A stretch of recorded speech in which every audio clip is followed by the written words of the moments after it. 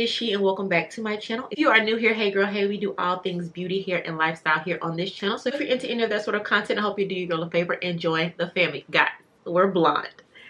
Who is she? I've never had blonde hair and I'm so excited. I told myself that I want to be a little more daring this year now that your girl is no longer working her corporate gig and try out a few different colors, styles, cause I mean, just go crazy with my hair, really. And I was surfing Amazon like I do almost every night and I came across this really cute blonde bob she cost $68.99 so we got her for a steal and she is human hair and um she's a vibe. A couple of housekeeping things before we get into the video really quick. Again we are almost at 50,000 subscribers. If you caught my last video you know that I'm doing a huge giveaway. Once we reach 50,000 subscribers there will be a three draw giveaway. Number one winner will receive a luxury brand new wig in a cute little mystery box and then there will be two additional mystery boxes with one gently used wig that I have featured here on my channel. And when I say gently used I'm talking one or two wears. So if you're not interested in that please do not enter the giveaway. But for those of my babes who do not mind a gently Gently Loved wig. The winner number two and number three will receive a Gently Loved wig along with the mystery boxes. Each mystery box comes with a Sephora gift card for a mystery amount and then a few other of my favorite hair care goodies and maybe even a little extra surprise. So um, stay tuned for the official giveaway rules. But long story short, all you need to be doing is following me here on YouTube and also over there on Instagram and look for the official giveaway video with instructions so you can comment and get entered into the draw. Yeah, so without further ado, honey, let's get right into this review on this gorgeous blonde Amazon cost-effective, beginner-friendly bob.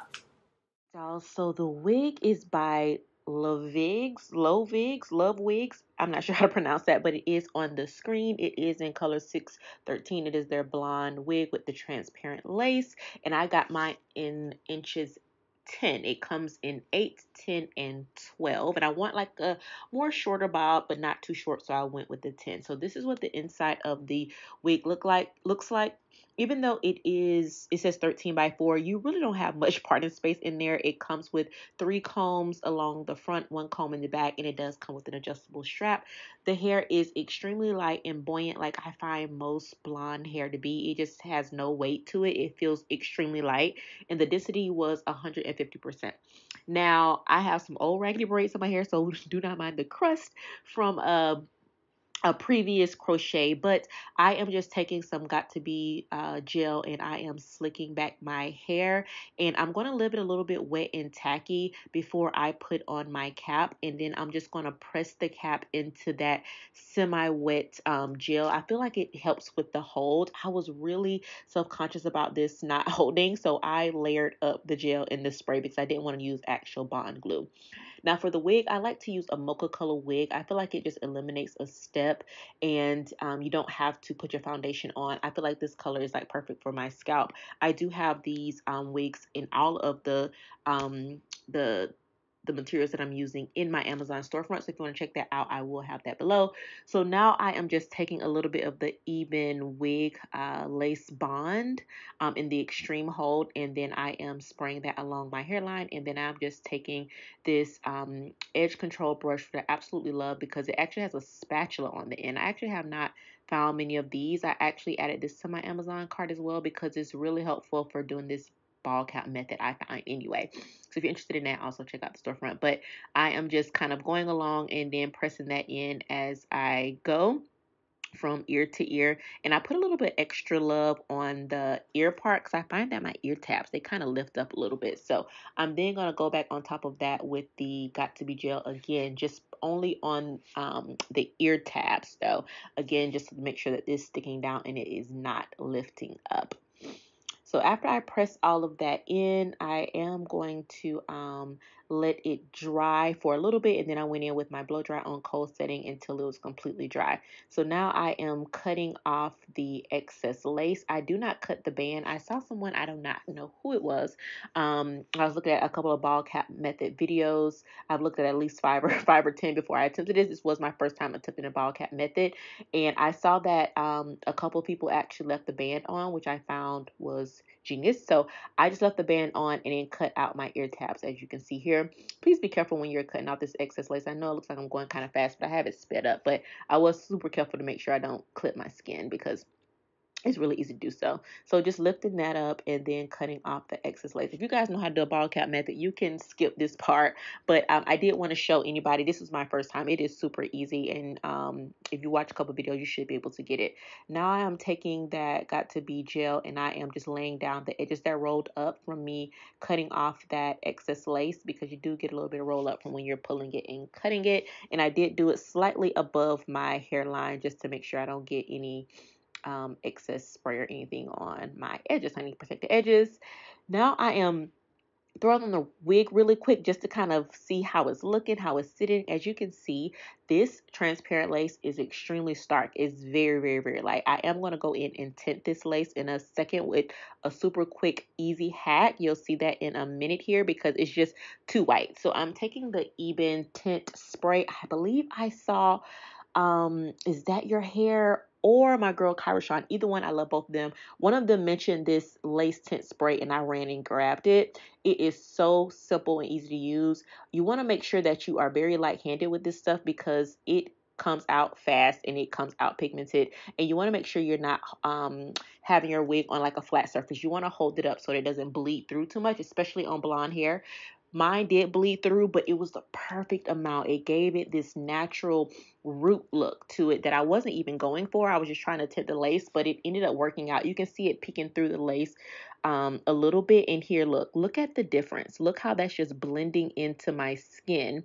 This tint spray comes in like 10 shades. Again, I also have this in my Amazon storefront under my hair products. The link will be below, and I'll probably link in each individual item as well in case you don't want to have to go through my storefront um, just so if you're interested in any of these products. But look how good that looks. It just makes it blend so much better because this lace is very stark. Um, so now I'm just pinning back the sides and I'm making sure I'm combing all the hair back because I don't want to get that um, into the um, I don't I don't really want the edges to be too slicked down. So I kind of pull everything back and I cut these three little slits to kind of control how I'm laying the lace down. I work so hard on this wig, you guys. I've never took so long applying a wig ever in my life. But I this was blonde, so I was so scared that any wrong movement and if I went too fast that it was gonna look crazy. So I really took my time with it. Here you see me just cutting out the ear tabs because um, it was a little bit of excess lace kind of hanging over. Um, while I'm doing this, side note, this um, lace, it is not a full lace frontal. You only have about an inch and a half on the sides of lace and then in the center you have about 13 by 4 like a little closure. So you really can only do like a good middle part on this wig. You really cannot get a, a decent side part out of this wig because you don't have much lace. The whole front isn't lace. It's not a full lace frontal. It's like a closure with again about an inch and a half of lace on each side. Um, but I want a middle part so it works just fine for me. Um, at now I'm just taking that um, gel, got to be gel first, and then I'm going immediately on top of that with the Ebin wig spray, and then um, I'm laying down that center part.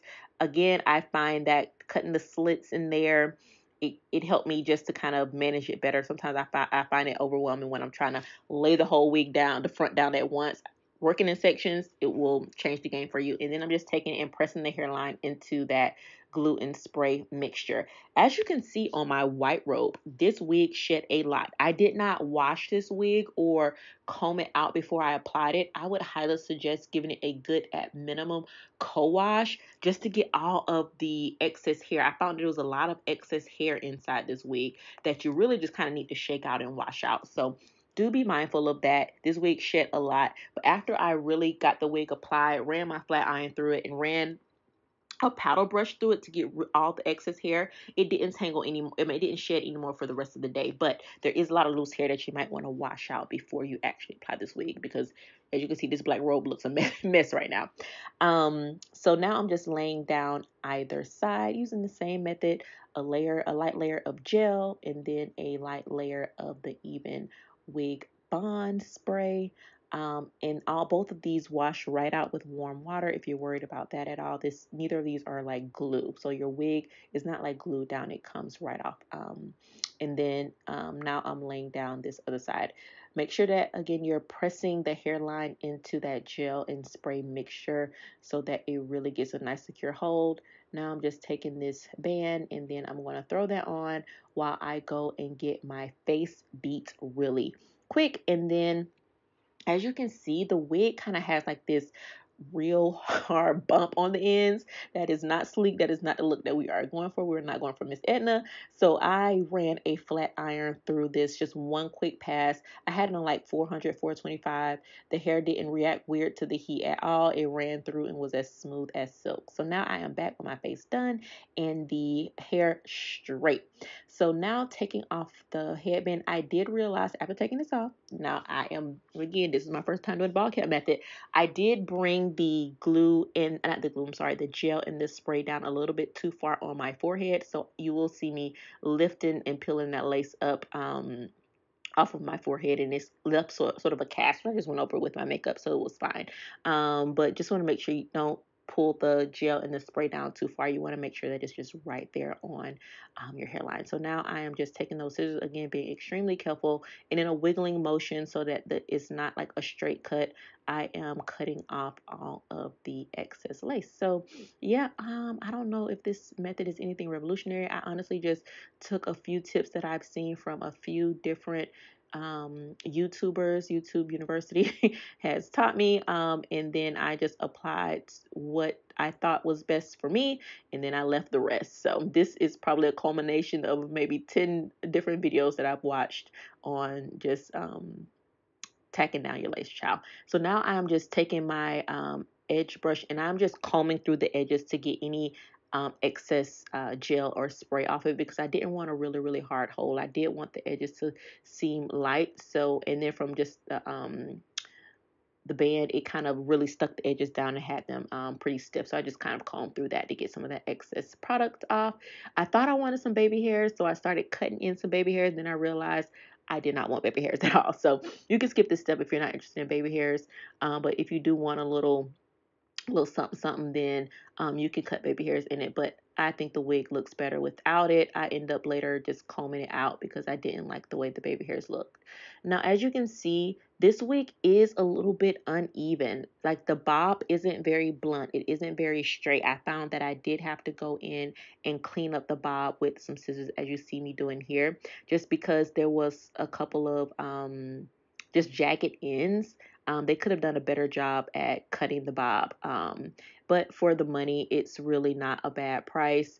Um, if you like really thick bobs, this bob is not for you.